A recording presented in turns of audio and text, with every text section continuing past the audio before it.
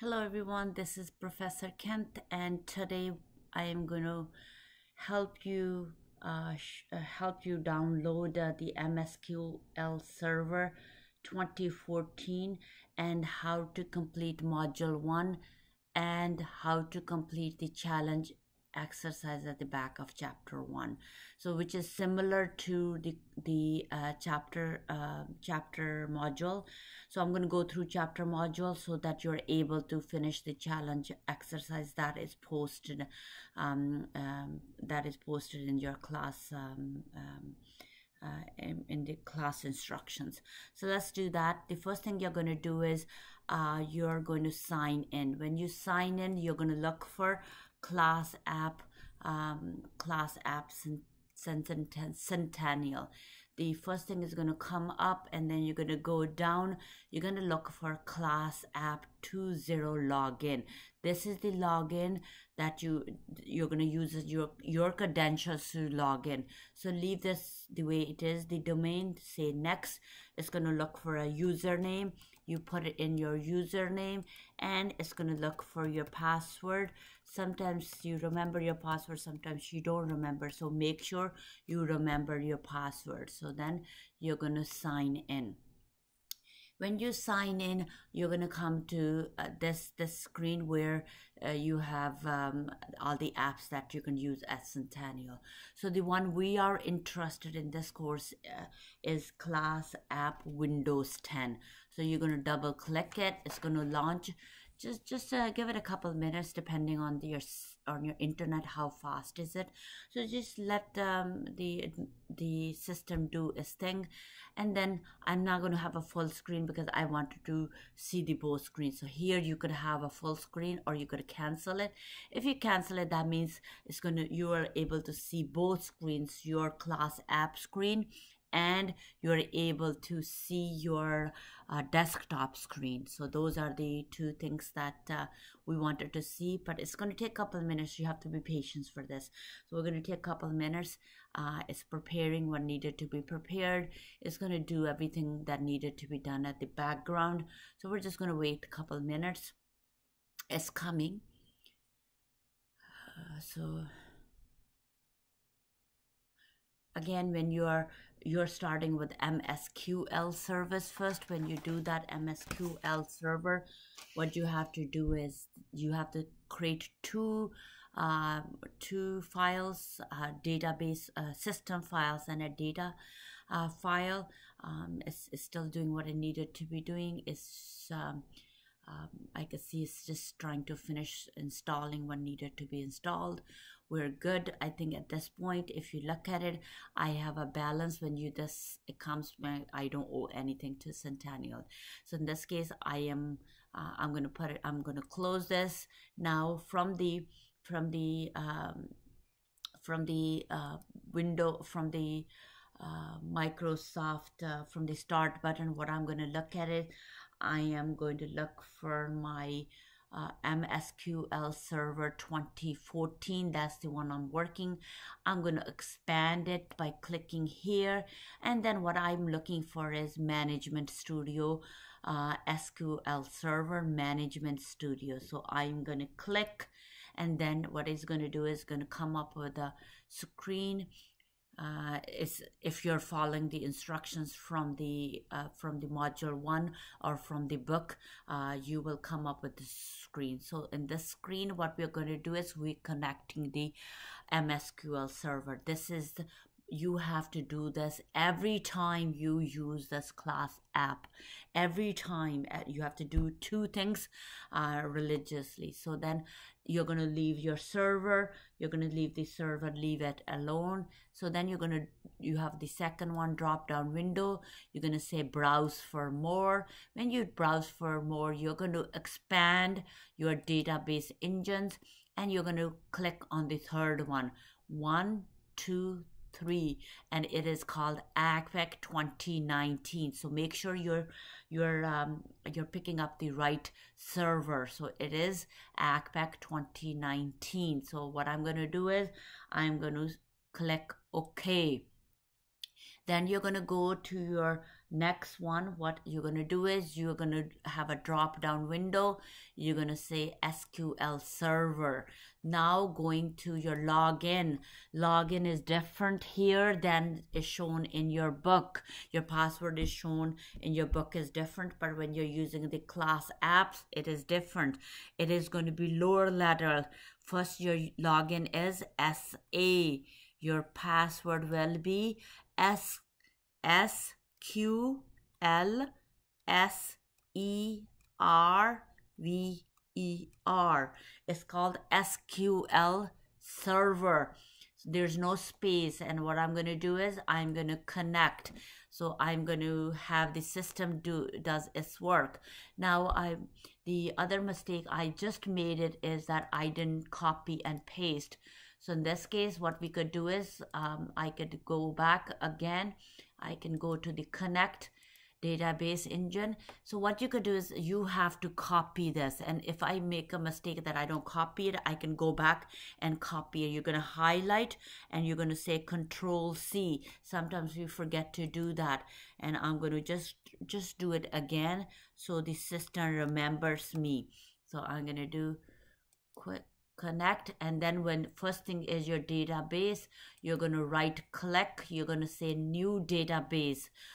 Your new database is the first one i'm going to make it a little bit um, extended. First one you're going to type o m n s y s. They're capital letters and there's six letters you're going to use and then you're going to change it to six. So the six is your uh, the length of your database is six. And then you're going to come at the bottom. You're going to select okay so don't select add. You're going to select okay then i'm going to go one more time. Now i'm going to i'm going to create my second one omni data so omdat this is the company file again. I'm going to change this to six and I am going to say okay.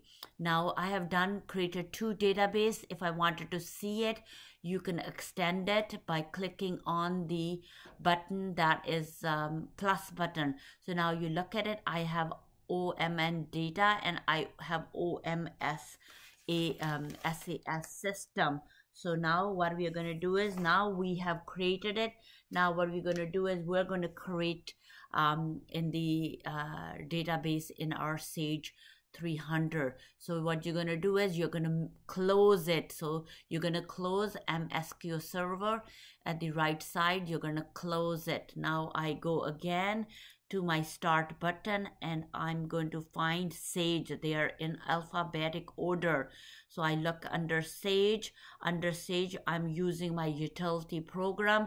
So it's, it's under, if you look at it, database loader, loader utility. I'm going to click on database setup. I'm going to double click it.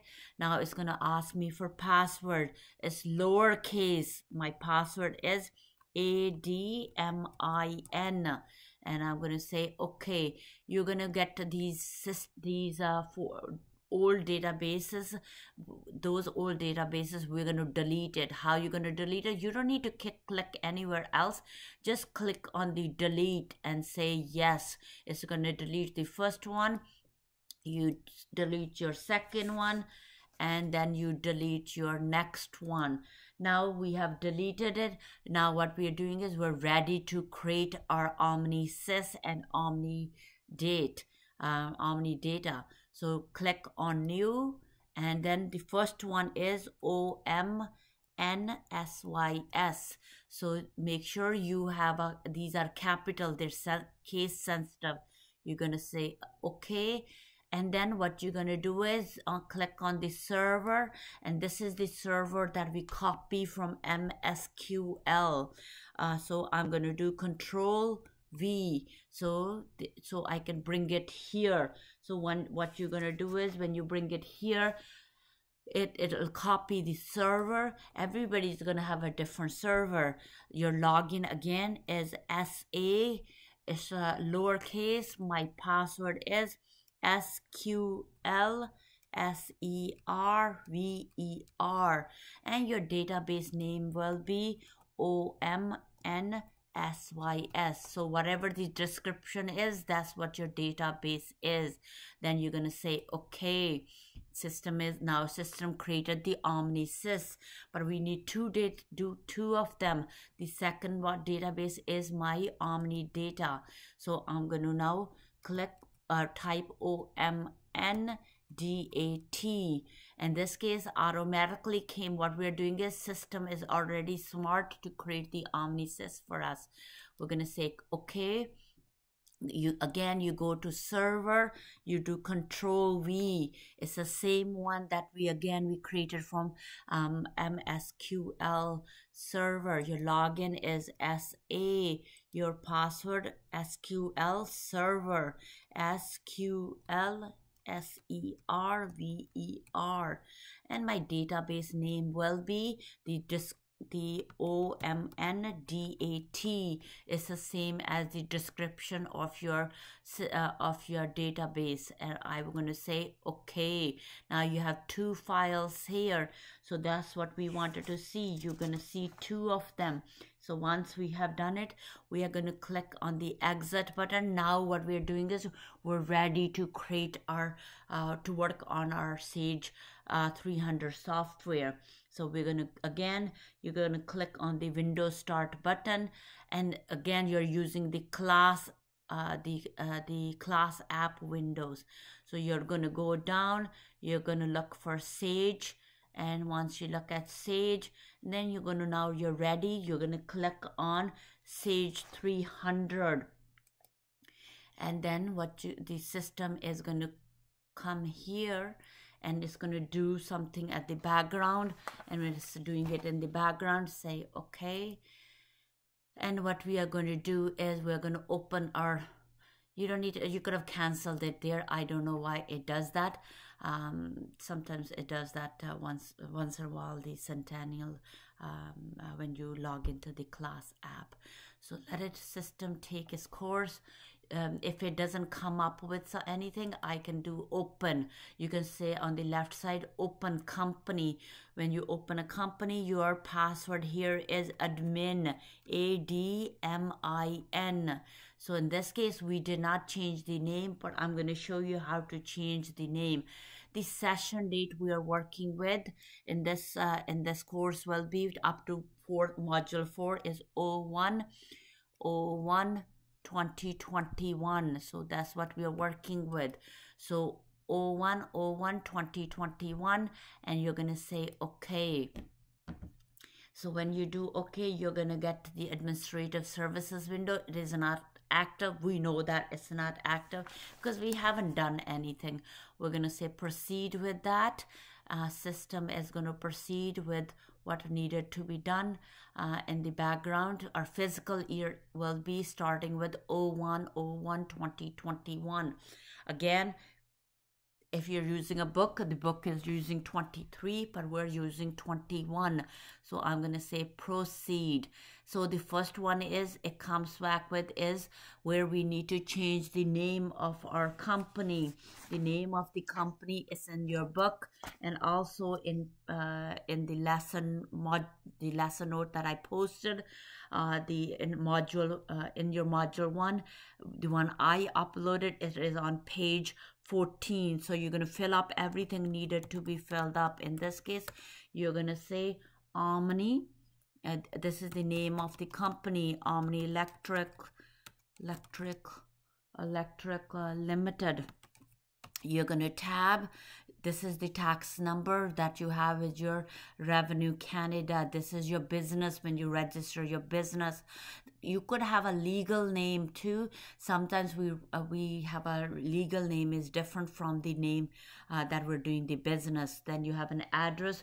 We're going to pick up that is given from that page 14765 john street uh, john street then we are going to tab to our city. City is where our our corporation is is. In this case we it, we, it is toronto and we toronto ontario.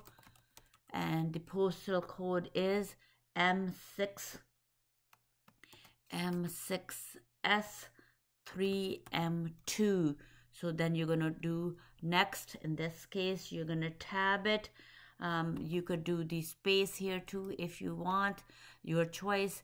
Um, in this case the way you put it in this is how it's going to be printed out on your statement. Country will be in Canada. So we're in Canada. This this company is going to be incorporated in Canada the name of the contact person will be my name here. Uh, the question says your name whatever is your name. So in this case i'm going to put in my name.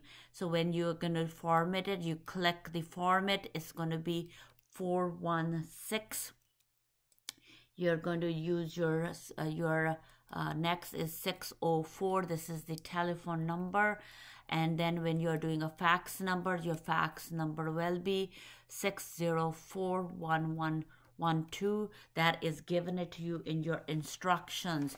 The next what we're going to do is we're going to go to the next. I haven't said okay so just tab it at the top option. Option tells you that how many months in a year 12 months. The only thing i'm going to look up is that if you don't remember it um, i will we want to your the functional currency will be a Canadian. You can look it up here and then go down to Canadian and select Canadian dollar. So if the company is in US, then you're going to do a US currency. And what I'm going to email, we don't need to do, we're going to select OK. In this case, if you go to the left side now, system is doing what it needed to be done so we are going to do so the first one is your now if you look at it your admins administrative services are active. Your common services are also active. So in the common services that's the first thing we did was to create a profile. So if i double click it you will see the same thing. I inputted when we open the file. So I don't need to do anything. If I go to the physical year, it's not going to let you do anything because we haven't activated anything. If you look, go to the, uh, I'm going to say close and close. So next one is your schedule. Sched double click on the schedule and then this is the schedule. We can set it up um, to when the system, we want the system to remind us of anything. In this case, you could do a monthly, weekly, bi-weekly, whatever you want to do. In this case, if I wanted a monthly, you're going to do monthly, M, M O N T monthly. So the description will be monthly. So monthly. Uh, and then what you're going to do is you're going to leave uh, the um, in this case it's a user mode user mode will be you can say it for all users or or whatever mode you want in this case um, and, and select the specific one so in this case we're going to select this one so this one then you're going to go to your monthly and then when um, when you want the system to remind you. In this case, you could do the schedule, the starter date too. I didn't do that. In this case, the uh, the the month ends is uh, um, uh, January 31st. Every month the schedule will be different, depending on how many days we have it in the month. So in this case, we don't want it to the fe when February comes. We don't want to come here and remind ourselves. In this case, you're going to select monthly. Then it, you want it to go to here. Um, uh, on when do you want the system to remind it on the last day. Uh, so we're going to click on the last and then what we are going to do is click on the add. So we did it. Clicked on the add and once you add it it saves it automatically. And then once you could save it again to just make sure that everything is saved. And then once it's saved you're going to go to close. And whatever you do here it automatically comes to the reminder list. So if i double click on the reminder list and then i go down to to all assigned the monthly comes up. That's the page number 19 on your screen. So it's a 19 so you can extend it. So that's the date. So now we're gonna go. Now what the other thing we wanted to do is that um, I'm not going to test you on it, but I'm just wanted to show you under administrative services, you can assign different password to different users. So let's see if I can assign a password to my myself. My ID, let's say that my ID will be Kenth. what is my name my name will be in this case the question says that enter your uh, full name my full name will be my first name and my last name. What you're going to do do is you're going to say that you're going to do the account uh, in this case account type. We are going to leave it alone. English we're going to leave it alone. Everything we're going to leave it alone but what we wanted to do it what we want to do assign what type of job i have i could say that i'm a bookkeeper or i'm a uh, accountant or a manager. So this is what i'm going to do is i'm going to say accountant or a bookkeeper.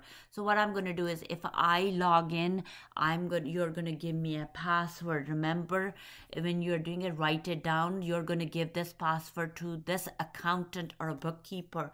I'm just going to do is uh, I'll just put a password. I'm just going to do is I'm going to call it password one two three four and you're going to verify it. Password so you remember what password you're you're adding and you have to uh, remember that. So you could do is you can go to the account options and you could uh, give them a different type of uh, uh, things that you have done. So uh, if you wanted to do is you could review them and see um, review the account option, but leave leave them turned off. Means don't do anything with this. And then you're gonna do is you're gonna click on add. So this is the click on add, and then you save it and you close it. Add and save does the same thing. In other words, once you added it, it saves it. So if I go to security group, now if I were to do this, um, what it does is system will tell you what type of uh, uh, security group I have. So in this case, where did we created it? In the administrative services, you can assign a different one. We wanted to, what kind of job this person is going to be doing. But we wanted to leave these alone for now. So uh, will be displayed. So we wanted to leave it alone. Uh, that was our first lecture. Um, the Now what we are ready to, whatever we did, even though we did a little bit, the purpose of this, uh, uh this class was to how to connect MSQL server, how to create database. Now what I'm doing is I'm going to ready to dump my file. So whatever I did, I have to dump it every time I do something, I need to dump it. So where is my dump? I'm just going to go back to uh, here. So you're going to go on the left side, you're going to click on the administrative services. And what we wanted to do is we wanted to dump it. So when you dump it, you double click it. Now I forgot to create a folder. So what you're going to do is you can minimize this and go create a folder.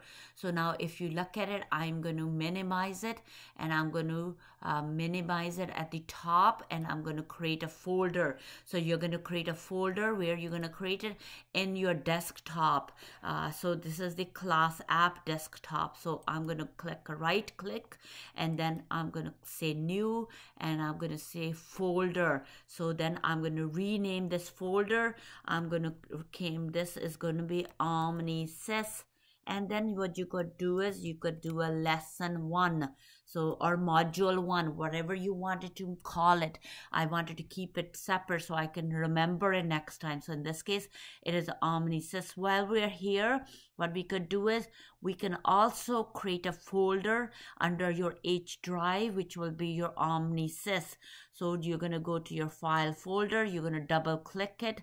On the left side you're going to locate your h drive I already have something. I'm just going to delete this. So I'm doing this again with you. I'm going to say delete it. So first I'm going to do is I'm going to create it. I'm sure you have other classes.